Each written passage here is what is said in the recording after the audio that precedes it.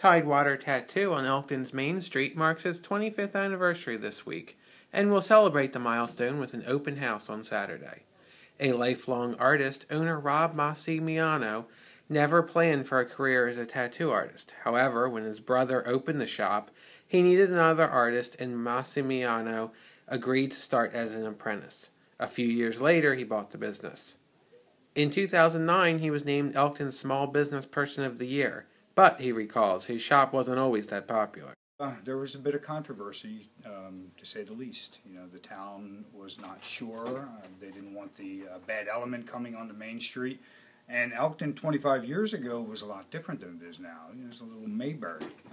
Uh, so uh, I understood. I know the reputation of tattoo shops and, and some artists, you know, but uh, I'm not like that. I'm an artist who, who happened to fall into this profession and I would never have thought about it until it was offered to me.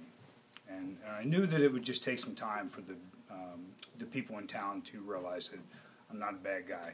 I'm here to bring people into town and, uh, and be a good neighbor to everybody.